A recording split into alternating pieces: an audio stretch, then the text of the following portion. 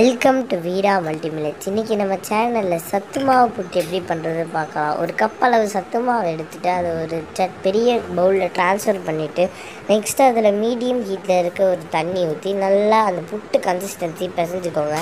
நீங்கள் ஏன் மீடியம் ஹீட்டில் இருக்க தண்ணி ஊற்ற சொல்கிறேன்னா அப்போ தான் அது சாஃப்டாக வரும். நல்லா தெளித்து அதை நல்லா அந்த புட்டு கன்சிஸ்டன்சியில் வரணும்.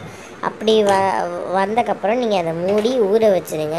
நெக்ஸ்ட் உங்கள் ஸ்டவ்வில் ஸ்டவ் ஆன் பண்ணி ஒரு மீடியம் ஃப்ளேமில் வச்சுருங்க.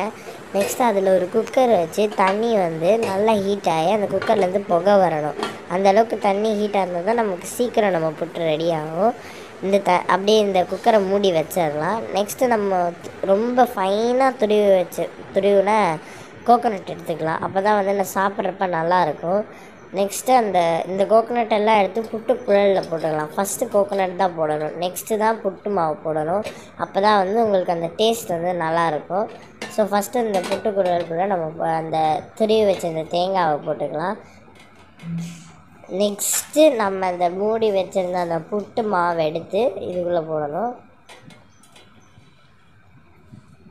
இந்த புட்டு மாவை போட்டதுக்கப்புறம் மேலே வந்து இன்னும் கொஞ்சம் கோகோனட் போடணும். அப்போ தான் அந்த கோகோனட்டோட டேஸ்ட்டும் அந்த புட்டு மாவு டேஸ்ட்டும் இறங்கும். அப்போ தான் ரொம்ப டேஸ்ட்டாக இருக்கும் நம்ம சாப்பிடும்போது.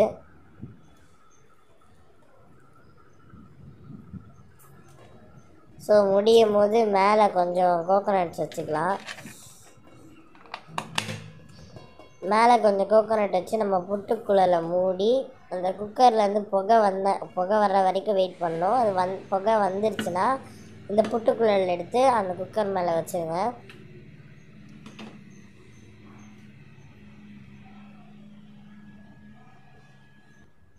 கரெக்டாக வச்சுட்டு அது வேகிற வரைக்கும் நல்லா வெயிட் பண்ணுங்க கொஞ்ச நேரம்.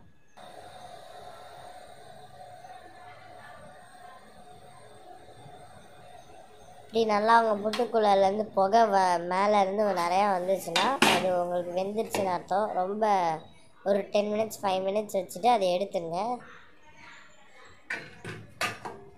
நெக்ஸ்ட் இப்போ நம்ம கொட்டி பார்ப்போம் எப்படி நம்ம புட்டு அவுட்கம் வந்துருக்குன்னு.